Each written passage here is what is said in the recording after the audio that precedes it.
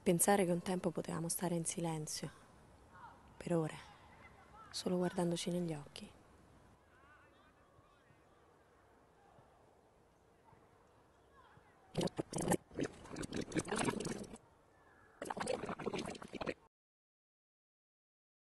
Non mi sembra nulla di trascendentale. Lo dici tu, a me fa schifo. Qualunque donna lo farebbe per il proprio uomo. Tu no. Me lo fai per farmi rabbia, lo so. Manco t'avessi chiesto la luna. Non vedo perché dovrei fare una cosa che mi ripugna solo per farti piacere. Hai detto bene. Per farmi piacere. Questo è il problema. Esiste anche l'altruismo, Cristo. E l'amore è altruismo, o no? Ma senti chi parla. Te la sei dimenticata la discussione sulla cravatta gialla e blu? È durata mesi. E lì chi era l'egoista? Meno male che è intervenuta tua sorella. Sì, sì, sì, cambia discorso. Altrimenti, Ma lo vuoi sapere una cosa? Anche Jenny è d'accordo con me. Poi non parliamo di, di Piera e Chiara che ti ridono alle spalle. Credo- Gianni, buono quello. Ma l'hai vista quella poveretta della fidanzata? Sembra un fenomeno Sì, da sì, baraccone. sì, con sì, ma almeno lei è se stessa, non ha paura dei commenti. Non è una provinciale. Provinciale? Eh certo, lo stai dicendo a me, lo so. La verità è che te non mi accetti per quello che sono. Sempre il tuo giudizio su di me, sempre critico, mai soddisfatto, eppure offensivo, incivile e cafone.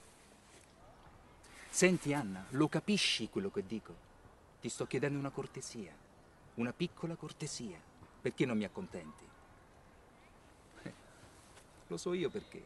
Perché tu sei lo spirito della contraddizione. Non ti costerebbe nulla. Sei un malato a chiedermi una cosa del genere, ma vada allo psichiatra invece di ascoltare quei tuoi amici del cazzo, che ovvio ti danno sempre ragione, perché gli conviene.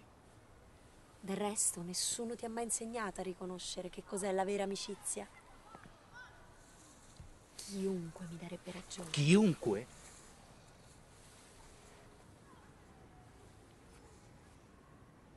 Vediamo.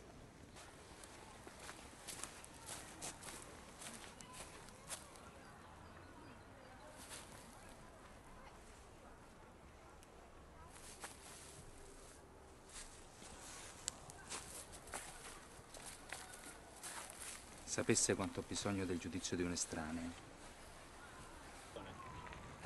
Ma secondo lei non ho ragione quando dico che una donna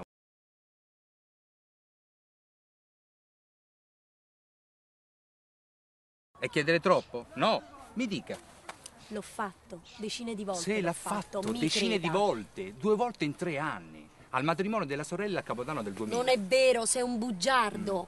Ma a parte questo, quello Mia madre me lo diceva. Stai attenta, è solo un despota irresponsabile. Sei una stronza egoista. E tu un superficiale Femminista che del cazzo. pensa solo alle apparenze. Ma si rende conto che squallore? Discutere così da giorni e solo per un paio di scarpe col tacco. Adesso mi dica che non ho ragione.